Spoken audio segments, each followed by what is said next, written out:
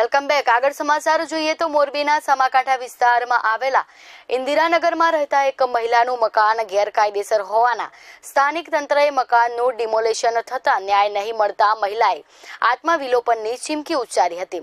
જોકે તેને સમયસર રોકી મામલતદારે ઝડપી કાર્યવાહીનું આશ્વાસન આપ્યું છે.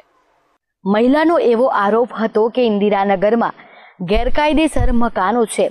તેથી તંત્ર કિન્નરખોરો રાખીને તેમના મકાનોનું દબાણ દૂર કરીને બાકીના ગેરકાયદેસર મકાનો સામે કોઈ કાર્યવાહી કરી ન હતી. અને આ દબાણો હટાવવા અને પોતાને ન્યાય આપવા માટે છેલ્લા ઘણા સમયથી લડત ચલાવીએ છીએ.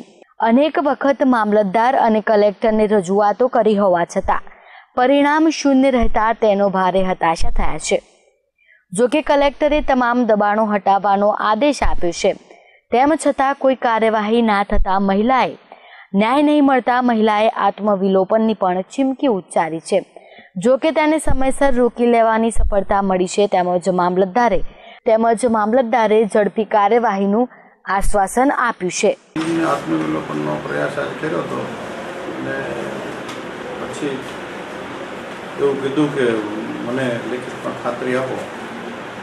એટલે અમે એને લેખિતમાં ખાતરી અમને આપશું.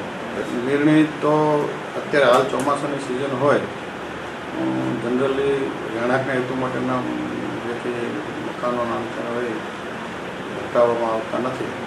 એટલે આ બાબતે કક્ષાએ બધે ચર્ચા કરી અને નિર્ણય કરવામાં આવશે. Bureau report CN twenty four news, Morbi.